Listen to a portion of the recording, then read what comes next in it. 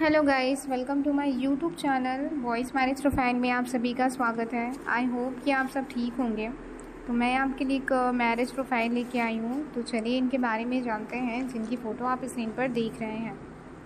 इनका नाम है मोनिका मोनिका राजपूत और ये रहने वाली है नागपुर नागपुर महाराष्ट्र और इनकी उम्र है अड़तीस।